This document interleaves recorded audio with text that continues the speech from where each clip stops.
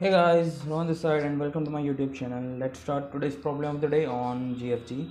Okay, what's today's problem of the day? It's type it. Okay, so what exactly uh, here the problem given? Uh, it is like uh, let's uh, understand from the example only.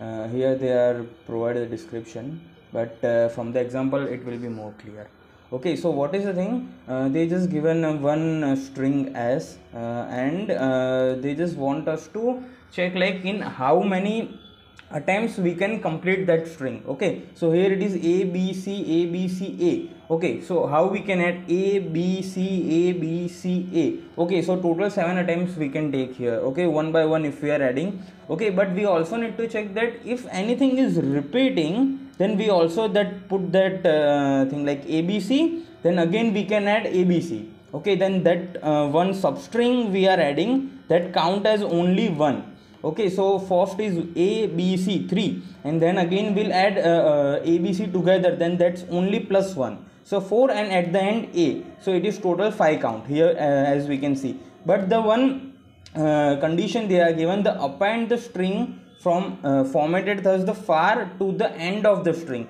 This cannot be done more than once. So we can add this substring only once not more than once.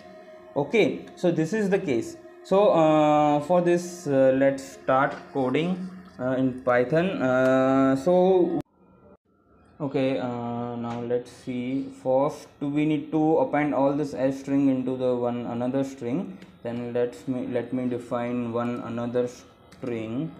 Str is equal to none. And i'm also defining a repeating string repeating string is equal also the null. If if anything repeating string we get then we'll just put that in repeating string okay? Now let uh, me just start one loop to append all the characters into the uh, str which we define as null. So for i in range of length of s. Okay just let me define one more thing. L is equal to length of s which is this is nothing but uh, will use this l in going forward on a, in below code also.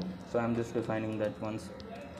Okay now uh, let's uh, add this all the character from s into the str one by one. Is equal to str plus s of i so one by one we can add all this character. Okay now we need to check whatever the character we are adding and we are getting str string. Okay is there uh, anything repeating in s or not? Okay so we just check it like if str in s of i plus 1 and so on. Okay so what is this exactly? If we are adding till uh, if we are getting the string as a b c okay? And at uh, at that point we are at the uh, i is equal to nothing but the 3 okay then we'll just check okay 3 plus, uh, sorry 2 then 2 plus 1 so for next any other string 2 3 4 5 whatever is there uh, is there any repeating of abc if it is there then we'll just put that in repeating string rep